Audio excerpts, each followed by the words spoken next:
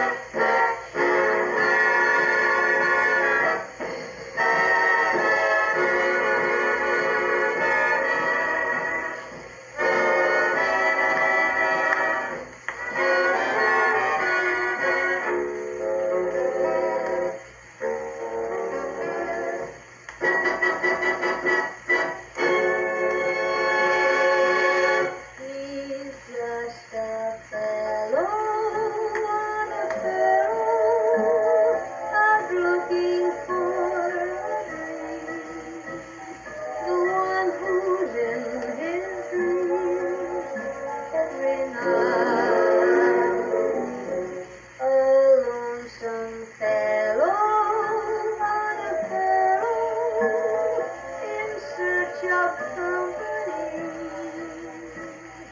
Somebody who will